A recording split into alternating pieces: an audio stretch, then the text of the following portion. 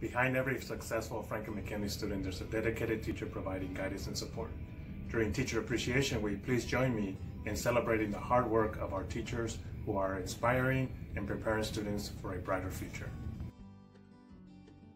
Hi, my name is Gina and my teacher is Miss Sanchez.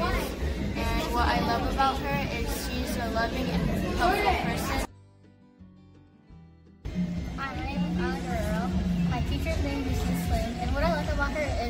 When I need help, she always helps me without giving up.